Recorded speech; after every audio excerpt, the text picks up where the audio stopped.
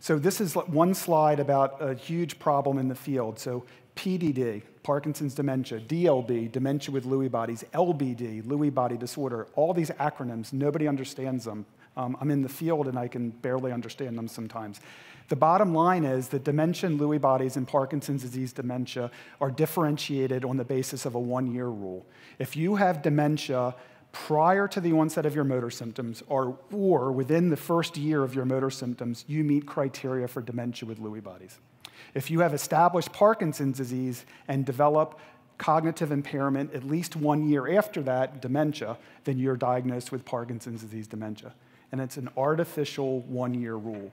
But for all intents and purposes, you can't look at the brain of a person with dementia with Lewy bodies or Parkinson's disease dementia and distinguish them. You can't really distinguish them clinically, even.